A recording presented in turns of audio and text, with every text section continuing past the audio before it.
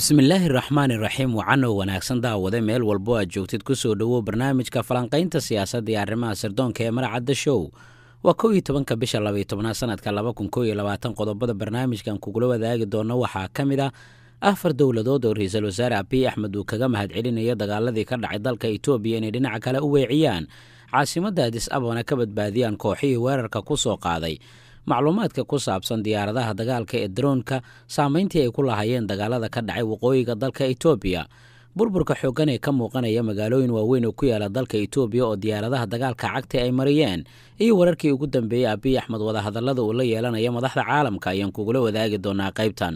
Ku soo dhowow mar kale barnaamijka falanqaynta siyaasadda iyo arrimaha sirdoonka ee maracadda show. Barnaamij wareedka duhurnimo ayaad daawanaysaan markaana u diyaargarow inaad daawato macluumaadkaasi oo intaa ka sii faahfaahsan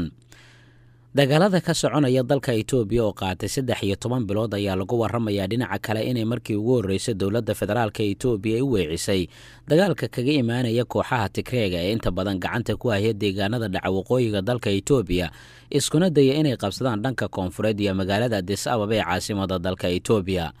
dowladda uu hogaamiye ra'iisul wasaare abiy axmed ayaa dowlado dhowra kaga mahad celinaysa dagaaladii ugu dambeeyey waqooyiga etoobiya ka dhacay iyo guulihii ay diyaaradaha dagaalka ay ka soo hoyeen dagaalada ka dhacay dhanka waqooyi. Ra'iisul wasaare abiy axmed markii furimaha dagaalka uu ku biiraya waxa uu watay isku hadlaynta ama kalsoonida la xiriirta in afartaani dowladood diyaaradahooda darooniska doorweyn ay ka ciyaari doonaan in dhanka kale ay u weeciyaan dagaalada ka dhacaya dhanka waqooyi ee dalka etoobiya warbaahinta aljaziira ayaa baahisay macluumaad ay ciwaan uga dhigta sidee ayay diyaaradaha darooniska dhanka kale ugu weeciyeen dagaaladii ka dhacay waqooyiga etoobiya haddii aan ku horumarno dowladda shiinaha waxaa lagu waramayaa taageero xoogan inay siisay dowladda etoobiya gaar ahaana in saldhigyada ciidanka militariga ee dowladda etoobiya lagu arkay qaar ka mid a diyaaradaha dowladda shiinaha ay farsamayso ee wing longi two loo yaqaano diyaaradahaas ayaa lagu waramayaa in bishii agoosta la geeyey gudaha dalka etoobiya waxaana lagu waramayaa inay ahaayeen kuwo doorweyn ka ciyaara isbedeladii ka dhacay dalka etoobiya sidoo kale dowladda iiraan ayaa diyaarado dagaal waxay ku taageertay dowladda uu hogaaminaya abiy axmed waana midda keentay inay duqaymo xoogan ay ka geystaan fariisimaha cadowga.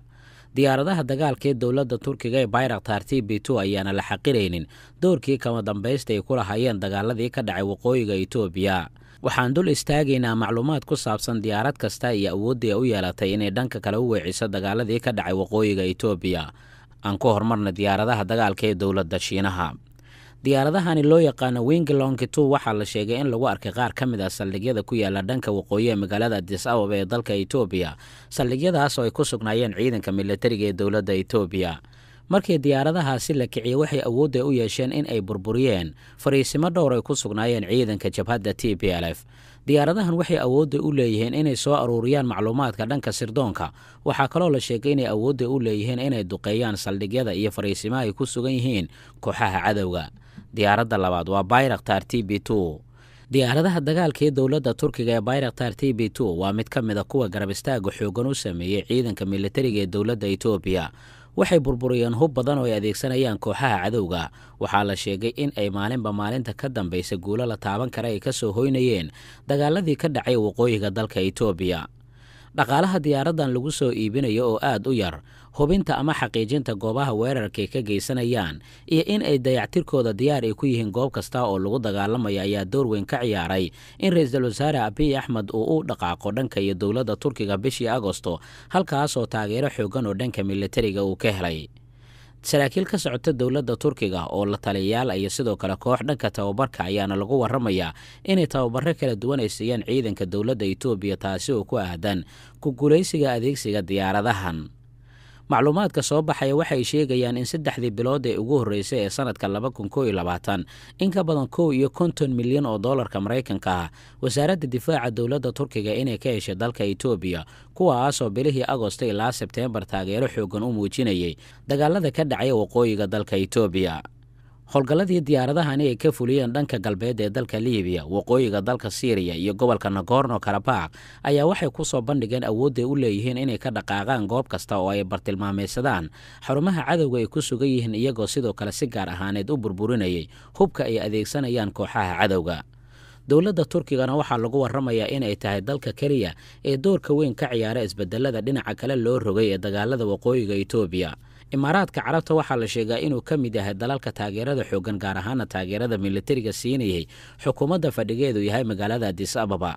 Waxaana intii nii xasuusata bishii hore aan idinla wadaagnay macluumaadka ku saabsan saldhigyo ciidamada dowladda etoobiya ay leeyihiin oo lagu arkay. Qaar ka mida saanadda militari ee dowladda imaaraadka carabta ee u fidinaysay ciidanka dowladda federaalka etoobiya sidoo kalena diyaaradaha dagaalka ee muhaajir sigis ee laga leeyahay dalka iiraan ayaa dhanka kale u weeciyay dagaaladii ka dhacay dhanka waqooyi ee dalka etoobiya. Dhammaan awoodaha diyaaradahani ay leeyihiin iyo xogo kale oo dhammaystiranna macluumaadyadeenna kale ayaan kugula wadaagi doonaa insha allahu tacaala. Afartaasi dowladood waxay ahaayeen kuwii dhinaca kale u weeciyey dagaalada ka socday dalka etoobiya islamarkaana abiy axmed uu kaga mahad celinaya taageeradii dhanka militari ay u fidiyeen. Waa iiraan imaaraadka carabta turkiga iyo sidoo kale shiinaha kooxaha mucaaradkana waddamada reer galbeedka ayay taageero ka helayeen laakiin tan iyo markii turkiga dagaaladu ku biiray howlihii dhinaca kale ayay u weecdeen. Qaybta hoose aragtidaada ku reeb aad baad u mahadsan tahay markaana aan eegna macluumaadyada kale. Dagaalada ka soconaya dhanka waqooyi ee dalka etoobiya ayaa saameyn xun ku yeeshay nolosha dadka ku nool deegaano dhowr ah iyada oo xaalado xun ay wajahayaan deegaano ku yaalla inta u dhexaysa magaalooyinka daansha iyo maydelle ayaa muuqaalo laga soo duubay. Waxay muuqanayaan in ay yihiin kuwo gebi ahaanba burburay iyadoo dhinacyada ku dagaalamaya waqooyiga etoobiya midba midka kale uu ku eedeynaya burburka iyo khasaaraha colaadaha.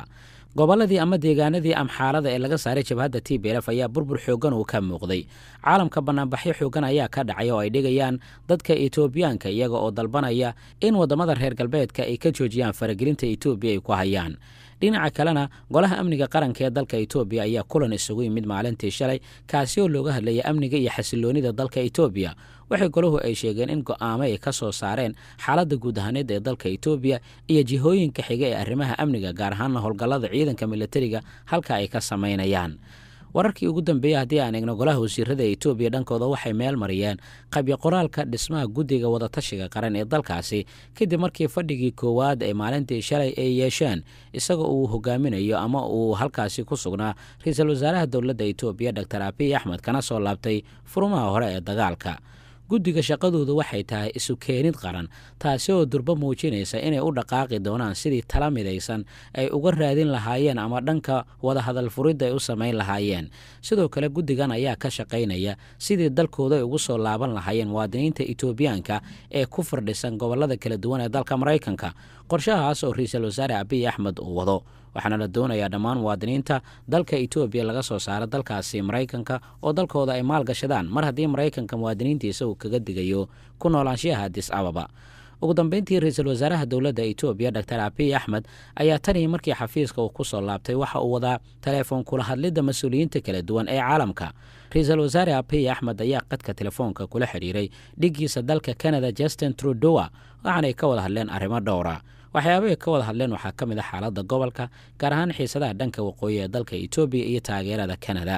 Doctor abiy axmed ayaa si toosa u bilaabay in uu iska dhisay xiriirada arrimaha dibadda kadib markii uu ka soo laabtay furmaha hore ee dagaalka sheegayna in wejiga koowaad ee dagaalada ay soo gabagaboobeen.